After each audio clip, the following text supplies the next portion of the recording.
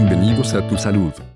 Canas prematuras. Podrías tener esta enfermedad. Algunos de los factores que intervienen en la aparición de las canas prematuras son la genética, el estrés y las deficiencias nutricionales, entre otras. Si tu cabello ya tiene sus primeras hebras blancas, te conviene saber que, además de los anteriores detonantes, su origen puede estar relacionado a una enfermedad autoinmune, cual el vitiligo. Esta enfermedad provoca la pérdida de melanina, pigmento de algunas células del cuerpo, cuya función es la coloración de la piel, ojos y cabello. Si quieres eliminar las canas de tu cabello, prepara este efectivo remedio casero. Ingredientes: 3 cucharadas de vinagre, un vaso de agua. Prepáralo así. Vierte en un refractario el vaso de agrega las 3 cucharadas de vinagre y revuelve. Aplica la mezcla sobre tu cabello, con la yema de tus dedos, deja actuar 30 minutos y enjuaga con agua tibia. Hazlo cada tercer día y en un mes notarás el cambio en tu cabello.